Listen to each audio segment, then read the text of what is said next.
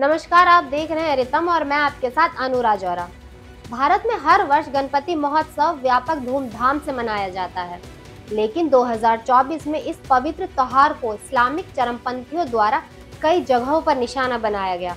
बावजूद इसके, धार्मिक सौहार्द और गंगा जमुना तहजीब जैसी बिना सर पैर की बातें करने वाले पुष्टिकरण के ठेकेदारों की चुप्पी ने गहरे सवाल खड़े किए हैं। और हिंदू धर्म को सबसे बड़ा धक्का तो कर्नाटक में लगा है। जहाँ ईद मिलाद के लिए हर मोड़ पर ट्रैफ़िक से लेकर पुलिस की व्यवस्था की गई थी। वहीं गणेश चतुर्थी के जश्न पर भगवान गणेश की मूर्ति को कैद कर दिया गया। दरअसल 16 सितंबर को ईद मिलाद पर पूरी ट्रैफ़िक फोर्स अलर्ट मोड पर थी। तो दूसरी तरफ़, हिंदू धर्म के त्योहार पर भगवान की मूर्ति को ट्रैफ़िक और लॉ एंड ऑर्डर का हवाला देते हुए पुलिस वैन में ले जाया गया। क्या भगवान गणेश की भीड़ को नियंत्रित करना इतना मुश्किल था? या फिर यह हिंदू त्योहारों के प्रति प्रशासन की दोहरी मानसिकता का परिणाम था। इस तरह की घटनाएँ हमें यह सोचने पर मजबूर करती हैं कि क्या ये वही धर्म निरपेक्षता है जिसका दावा कांग्रेस की सरकारें करती हैं? वही गुजरात के कच्छ ज़िले और सूरत शहर में गणेश उत्सव के दौरान पत्थरबाजी की घटनाएँ भी दर्ज की गई रिपोर्ट्स के अनुसार इस्लामिक समुदाय को कुछ नाबालिगों ने गणपति पंडालों और जुलूसों पर हमला किया।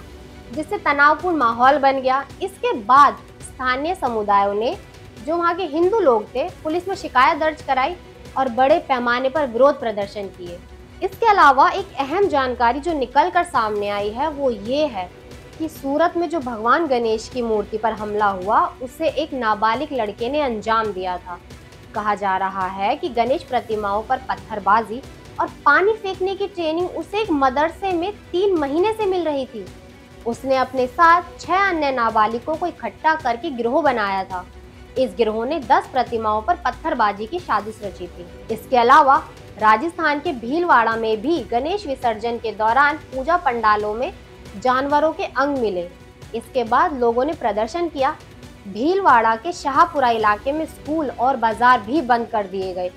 तो उत्तर प्रदेश के माहोबा में भी गणेश विसर्जन के दौरान हिंदुओं पर कट्टरपंथियों ने बाल्टी और पत्थरों से हमला कर दिया। ये पहली बार नहीं है जब इस महोत्सव में या किसी अन्य महोत्सव में हिंदू त्योहारों को निशाना बनाया गया हो। इससे पहले भी चरमपंथियों ने हिंदू त्योहारों में भंग डालने की कोशिश की है।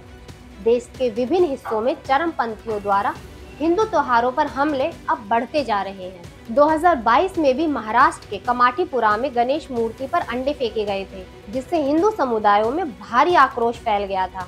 गुजरात के वडोदरा में भी गणपति जुलूस पर चरमपंथियों द्वारा हमला किया गया था, जिसमें तेरह लोगों की गिरफ्तारी हुई थी। अब इन सब के बीच सवाल ये उठता है कि कल तक जो लोग देश में गंगा जमुनी तहजीब का हवाला देकर हिंदू धर्म को कोसते थे आज वही लोग इन हमलों पर चुप्पी साधे क्यों बैठे हैं? इन मामलों में अभी तक किसी बड़े मुस्लिम नेता या मौलाना की ओर से कोई आधिकारिक बयान सामने क्यों नहीं आया? ये सोचने वाली बात है।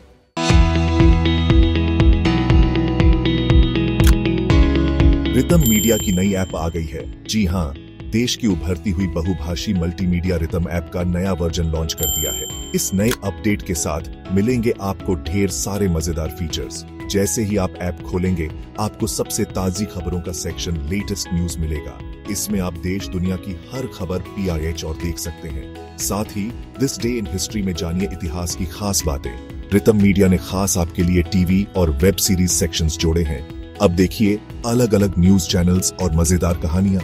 और हाँ सिटीजन जर्नलिज्म को बढ़ावा देने के लिए वीडियो सेक्शन भी है। यहाँ आप अपने इलाके की बातें सब तक पहुँचा सकते हैं। खासकर महिलाओं और युवाओं के लिए भी अलग अलग टैब्स हैं, जो उनकी पसंद और जरूरतों को ध्यान में रखकर बनाए गए हैं। तो अब इंतज़ार कैसा? फटाफट गूगल प्ले स्टोर या आईओएस पर जाइए और रितम ऐप डाउनलोड कीजिए। सबसे पहले पाइए अपडेटेड न्यूज़